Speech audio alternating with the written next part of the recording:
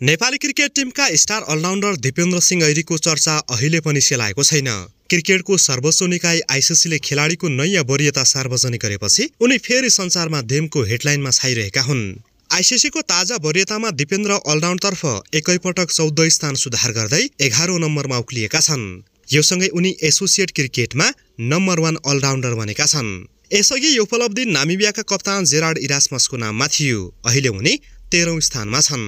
दिपेन्द्रले वरियतामा छलाङ मारेपछि आइसिसीले पनि उनको प्रशंसा गरेको छ। साथै उसले दिपेन्द्रको वरियताबारे समाचार पनि प्रकाशन गरेको छ। त्यस्तै आइसिसीले उनको वरियता सम्बन्धी समाचार आफ्नो आधिकारिक फेसबुक पेजमा पनि सेयर गरेको छ। स्मरण रहोस् केही दिन अघि दिपेन्द्रले कतार विरुद्ध एकै ओभरमा लगातार छ छक्का हिर्काएको समाचार भने आइसिसीले आफ्नो फेसबुक पेजमा सेयर गरेको थिएन। दिपेन्द्रको उक्त दुर्लभ उपलब्धि हासिल गरेको भिडियो र समाचार सेयर नगरेको भन्दै धेरै समर्थकले आइसिसीको आलोचना पनि गरेका थिए। यद्यपि यसपटक भने उसले दिपेन्द्रले छ बलमा छ छक्का हिर्काएको एसिसीको भिडियो पनि राखेर समाचार प्रकाशन गरेको छ। आइसिसीले शीर्षकमा लेखेको छ नेपाली अलराउन्डरको वरियतामा व्यापक सुधार।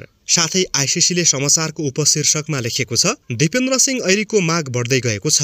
दिपेन्द्रले अलराउन्डतर्फ मात्र होइन टी ट्वेन्टी आई ब्याटिङमा पनि सुधार गरेका छन्।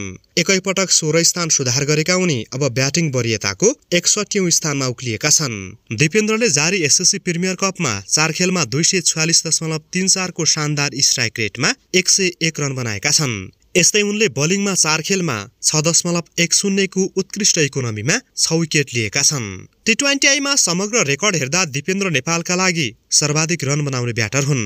उनले हालसम्म बैसठी खेलको चौपन्न पारीमा ब्याटिङ गर्दा एक हजार सात सय सतहत्तर रन बनाएका छन्। त्यसक्रममा दिपेन्द्रले एक शतक र नौ अर्धशतक हिर्काएका छन्। यस्तै उनले अहिलेसम्म यो ढाँचामा सैतिस इनिङ्समा पैँतिस विकेट पनि लिएका छन्। दिपेन्द्र एसएससी प्रिमियर कपको सेमिफाइनलमा पनि उच्च प्रदर्शन गर्दै नेपाललाई फाइनलमा पुर्याउन पूरा कोसिस गर्नेछन्।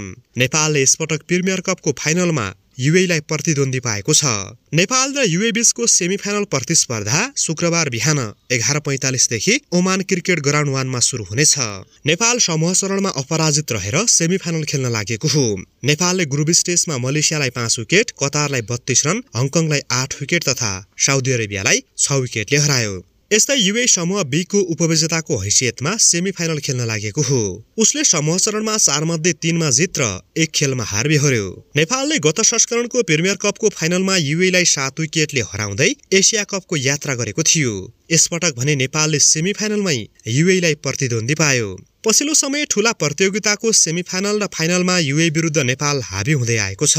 र नेपाल त्यो क्रम शुक्रबार पनि दोहोऱ्याउन चाहन्छ। हालसम्म यी दुई टिमले नौ टी ट्वेन्टी आईमा एकअर्काको सामना गरेका छन् जसमा नेपालले पाँच तथा युएले चार खेल जितेको इतिहास छ। नेपालले पाँच मध्ये तीन घरेलु मैदान तथा दुई खेल युएको मैदानमा जितेको हो। नेपाल यसपटक पनि युए विरुद्ध महत्वपूर्ण जित निकालेर फाइनलको यात्रा गर्न चाहन्छ। तपाईँ युएलाई हराएर नेपालले फाइनलको टिकट सुरक्षित गर्नेमा कति प्रतिशत ढुक्क हुनुहुन्छ? कमेन्ट गर्नुका साथै च्यानलमा नयाँ हुनुहुन्छ भने सब्सक्राइब गर्न पनि नबिर्सिनुहोला। धन्यवाद।